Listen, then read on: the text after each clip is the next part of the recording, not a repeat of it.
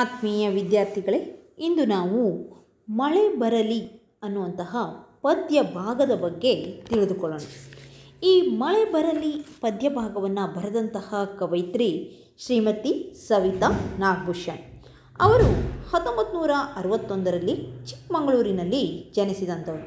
ಅಷ್ಟೇ ಅಲ್ಲ, ಇವರು ಇತಿಹಾಸದಲ್ಲಿ ಸ್ನಾತಕೋತ್ತರ ಪದವಿಯನ್ನು ಪಡೆದಂಥವರು. ಇವರು ಅಂಚೆ ಇಲಾಖೆಯಲ್ಲಿ ಇಪ್ಪತ್ತು ವರ್ಷ ಸೇವೆ ಸಲ್ಲಿಸಿ ಸ್ವಯಂ ನಿವೃತ್ತಿ ಹೊಂದಿದಂಥವರು ಸಹ ಸವಿತಾ ನಾಗಭೂಷಣ್ರವರು. ಇವರು ಕವನ ಸಂಕಲನಗಳನ್ನು ಚಂದ್ರನನ್ನು ಕರೆಯಿರಿ ಭೂಮಿಗೆ, ಹೊಳೆ ಮಗಳು, ಆಕಾಶ ಮಲ್ಲಿಗೆ, ಜಾತ್ರೆಯಲ್ಲಿ ಶಿವ, ದರ್ಶನ, ಕಾಡು ಲಿಲ್ಲಿ ಹೂಗಳು, ಹಳ್ಳಿಯ ದಾರಿ ಅನ್ನುವಂತಹ ಕವನ ಸಂಕಲನಗಳನ್ನು ರಚಿಸಿದ್ದಾರೆ. ಅಷ್ಟೇ ಅಲ್ಲ ಇವರು ಸ್ತ್ರೀಲೋಕ ಎನ್ನುವಂತಹ ಕಾದಂಬರಿಯನ್ನು ಸಹ ಬರೆದಿದ್ದಾರೆ. ನಾ ಬರುತ್ತೇನ ಕೇಳ ಎಂಬ ಕವನ ಸಂಕಲನಕ್ಕೆ ಕರ್ನಾಟಕ ಸಾಹಿತ್ಯ ಅಕಾಡೆಮಿ ಪ್ರಶಸ್ತಿ ಲಭಿಸಿದೆ. ಅಲ್ಲದೆ ಡಿ ಎಸ್ ಕರ್ಕಿ ಕಾವ್ಯ ಪ್ರಶಸ್ತಿ ಸಹ ಇವರಿಗೆ ಲಭಿಸಿದೆ.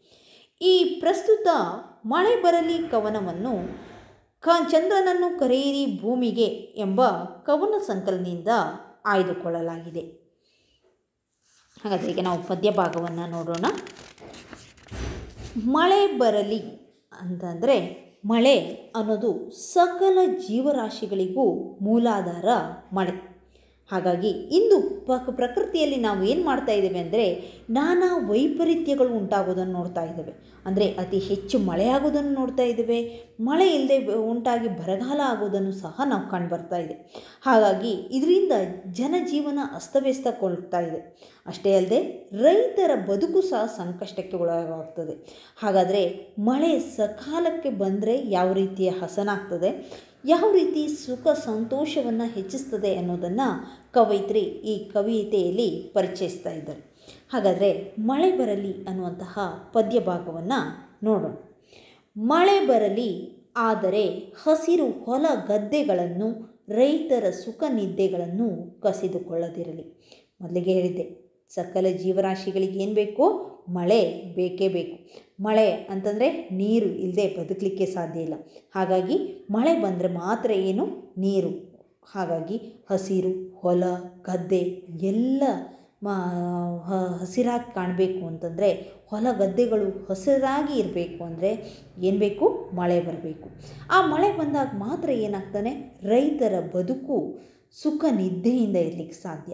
ಆ ಮಳೆ ಬರದೇ ಇದ್ದರೆ ಸುಖ, ರೈತರ ಬದುಕು ಸುಖ ನಿದ್ದೆಗಳನ್ನು ಕಸಿದು ಕಸಿದು ಕೊಳ್ಳದಿರಿ ಅಂತ ಹೇಳಿ ಅಸ, ಅಂದರೆ ಸುಖ ನಿದ್ದೆಗಳನ್ನು ಕಸಿದುಕೊಳ್ಬಾರ್ದು ಅಂತ. ಮಳೆ ಬರಲಿ, ಆದರೆ ಹುಲ್ಲಿನ ಚಾವಣಿಗಳನ್ನು, ಮಣ್ಣಿನ ಗೋಡೆಗಳನ್ನು ಕೆಡವಿ ಹಾಕದಿರಲಿ ನೋಡಿ ಕವಯಿತ್ರಿ ಹೇಳ್ತಾ ಇದ್ದಾಳೆ, ಮಳೆ ಬರಲಿ, ರೈತರ ಸುಖ ನಿದ್ದೆಗಳನ್ನು ಕಸಿದುಕೊಳ್ಳದೇ ಇರಲಿ, ಆದರೆ ಯಾವ ರೀತಿ ಮಳೆ ಬರಬೇಕು? ಅಂದರೆ ಸರಿಯಾದ ಪ್ರಮಾಣದಲ್ಲಿ ಮಳೆ ಬರಬೇಕು.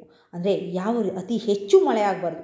ಮಳೆ ಬರಲಿ ಅಂತಂದು ಹುಲ್ಲಿನ ಚಾವಣಿ, ಅಂದರೆ ಬಡವರ ಅಥವಾ ರೈತರ ಮನೆಯ ಹುಲ್ಲಿನ ಚಾವಣಿ ಹಾರ್ಕೊಂಡು ಹೋಗದೇ ಇರಲಿ. ಅಥವಾ ಮಣ್ಣಿನ ಗೋಡೆ ಅತಿ ಹೆಚ್ಚು ಮಳೆಯಿಂದ ಏನಾಗದೇ ಇರಲಿ ಇದು ಮಣ್ಣಿನ ಗೋಡೆ ಕುಸದೇ ಇರಲಿ, ಕೆಡವಿ ಹಾಕದೇ ಇರಲಿ ಅನ್ನೋ ರೀತಿಯಲ್ಲಿ ಕವಿತ್ರಿ ಏನು ಹೇಳ್ತಾ ಇದ್ದಾರೆ ಮಳೆ ಬರಲಿ.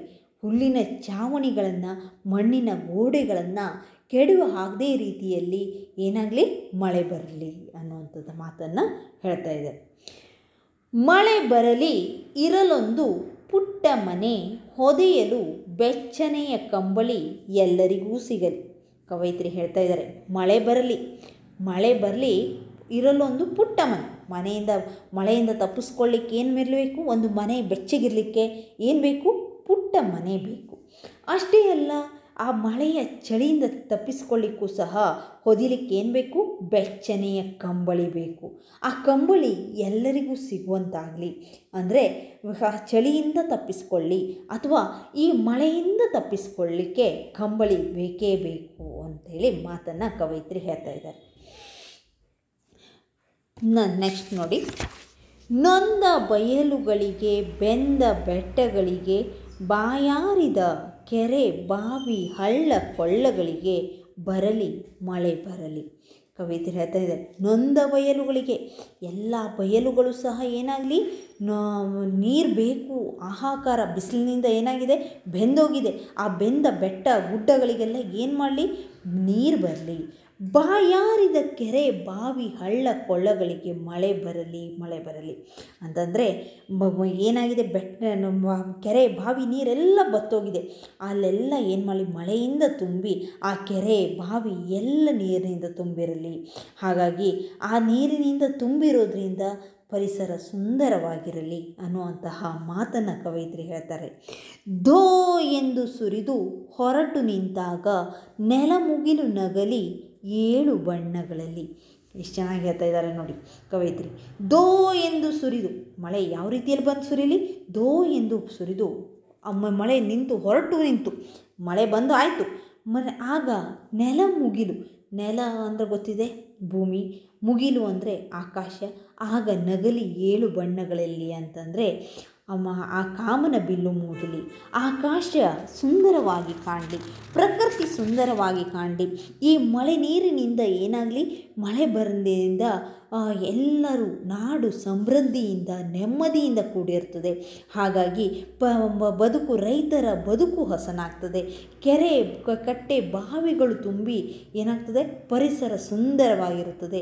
ಅಹಂ ಎಲ್ಲರ ಕಷ್ಟಗಳನ್ನು ದೂರ ಮಾಡಿ ಸುಖ ಸಂತೋಷವನ್ನು ಹೆಚ್ಚಿಸಲಿ ಅಂಥೇಳಿ ಕವಯಿತಿ ದೇವರಲ್ಲಿ ನಮ್ರತೆಯಿಂದ ಮಳೆ ಬರಲಿ ಅನ್ನುವಂಥದ್ದು ಏನು ಮಾಡ್ತಾ ಇದ್ದಾರೆ?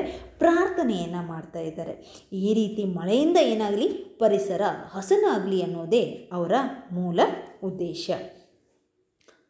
ಧನ್ಯವಾದಗಳು.